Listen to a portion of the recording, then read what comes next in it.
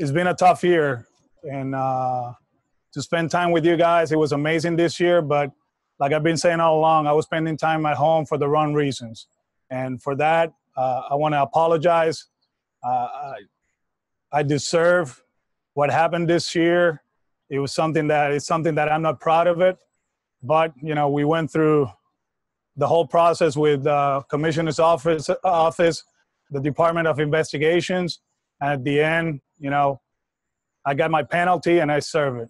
Um, I want to I want to apologize to the organization to put him in such a, a tough spot coming into the season. You know, I never thought that that's what's was gonna was gonna happen. I, I never thought I was gonna be in that situation, but I was. And uh, watching from afar, and like I told Chaim and I told everybody else, the whole group, when we decided to part ways, you know, sorry for for what happened and sorry for for what happened during the year. I think you know, as a leader, as a as a person that you know enjoys the game and love to manage, you know, I put this organization in a tough spot, and for that, I'm sorry.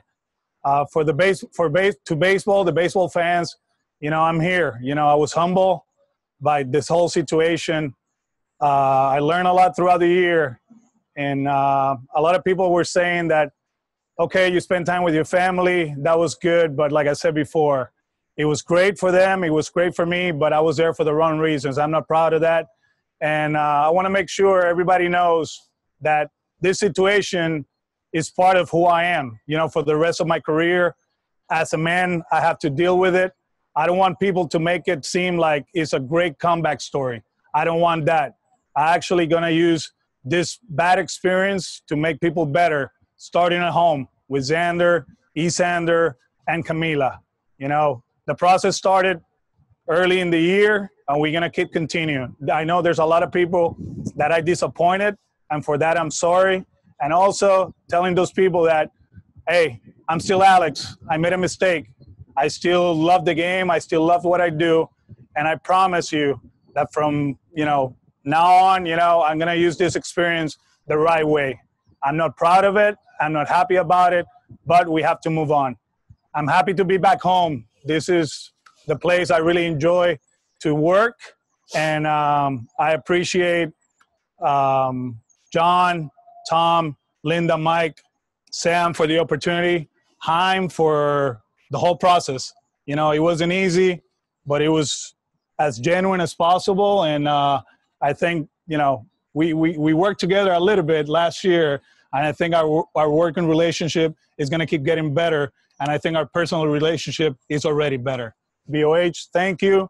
Raquel, Zach, Eddie, I love you. Thank you for trusting me, and let's get back to work honestly, when when the suspension happened, this is the last thing I was thinking. You know, I, I needed to take care of a lot of things on a personal level, take care of my family, and you know, baseball was far away from from my thoughts. Um, I got a phone call from from Chaim, You know, after a few days after the World Series, I don't even know, you know, specific when it was. It was a text and then a phone call, and we started talking, and you know, um, we decided that we we were gonna talk, and like I told Chaim and BOH, you know, I, I never saw that day coming, but it happened, and little by little, you know, the conversations got deeper and deeper, and and they made the decision. But uh, honestly, early in the year, throughout the year, to be here right now talking to you, Johnny, that was that I never thought it was gonna be, it was gonna happen. As far as uh, becoming world champions again, there's a process. There's a process in place, uh, and we got some talented players, but we got work to do. Um, as you know, I'm a baseball fan, so you know throughout the summer I watch a lot of games. Uh, although some people don't believe that, but I did, and uh, there's a few things that I watch not only from from this organization, but others, and I have some ideas to to keep getting better. So we we're we're in a process right now to keep getting better, and if we do the things that we have to do, we'll see where it takes us. I learned. Well, I knew I, I was going to miss a game, as you know, Pete, and uh, you know it's my passion. I've been doing this since I, I, have been around the game since I was four years old, you know, and I miss the game. At the same time, you know, um, I made some bad decisions, and and you got to take ownership. And uh, just being able to be a dad, obviously the kids, you know, they're they're still three. They they don't understand what was going on right now, but some deep conversations with my daughter, with Angelica, you know, with my mom, talking to Joey throughout the year, you know, uh, how wrong I was. And uh, the only thing I can do now is getting better, and uh, I will be better. You know, I'm surrounded by a team that they're going to help me out, and uh, we're going to keep mo- moving forward. Thank you, Pete. Next question comes from Ian Browne. Hey, Alex, uh, you, you just said that you didn't think you were going to be back in this spot. Um, you know, what made you think that, and uh, you know, what, what, do you think changed that? Um, I mean, the suspension, to be honest with you, and uh, going into the season, that's that was like, I knew I wanted to come back to the game, but I didn't know how fast. You know, there was uh, a lot of talk within the family, and and you put him first, and this is not like like I always said, this is not an easy place. You know, here in Boston, there there's some other places too that it was going to be quote unquote tough. But talking to them, uh, we were very open minded. You know, little by little, you know, they they understood. You know that probably not this year, but probably in two years or three years, something was gonna was gonna open up, and uh, there was a chance to get back to the game. But you know, honestly, like I said before, so soon, you know, I, I never saw it. But I think it starts with the family. They they understand where we at now and what we want to accomplish, not only in the professional life, but as a person. There's a lot of things that we're very excited that might happen, you know, in the next few months as far as the family. And, and, and I think this is part of it. And that's the reason I, I you know, when, B, uh, when, when Chaim and BOH text me and call me, I was like, you know what? Let's talk and see where it takes us. And here we are. You know, we're in home play of Fenway Fenway Park. From my NTC, you know, I, w- I was fortunate that you know Chaim called me. Is like, let's talk.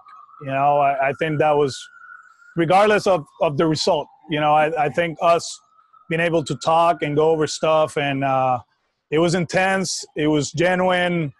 It, it it was tough. You know, because there were some tough questions, and uh, you know we spent a lot of time together. You know, BOH was part of the process too, and then I kind of like, okay, you know, there's there's a chance. You know, I, I just wanted to talk to him and and go over a few, a few things. Uh, little by little, you know, uh, I start feeling a little bit anxious. You know, because they were going through the process, and for me, it was different because I didn't have a job. You know, it's like, okay, if it, this doesn't happen, we'll be okay, right? You know, you're spending time with the family, but uh, just to to to know that they talked to me and and the process started, you start looking around and and and you see the stuff at the house, and you're like, hey, there's a there's a chance, but I wasn't 100% sure this was going to happen. You know, uh, we actually had another conversation that uh, I think was very positive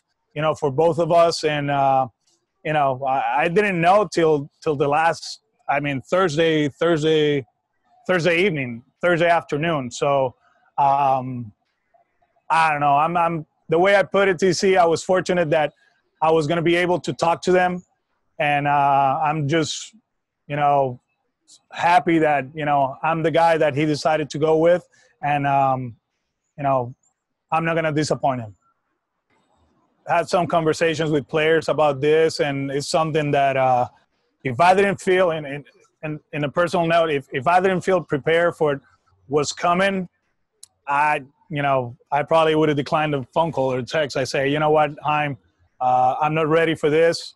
You know, um, thank you, but no thanks. You know, and uh, I know it's going to be tough in certain places, but I understand. You know, um, as long as uh, we stay together and and I surround myself with people that they're going to be in my corner and understanding that hey some of what's going to happen is for me you know it's personally for me i i can deal with that you know my players they have a job to do the organization They're gonna do everything possible to keep getting better. I think I'll be okay. I'll be okay. You know, uh, those conversations probably were deeper with the family, and um, they we decided as a family that yeah, you know, let's let's do this. There's gonna be some great days. There's gonna be some tough days, but we're gonna stick together and we're gonna keep moving forward.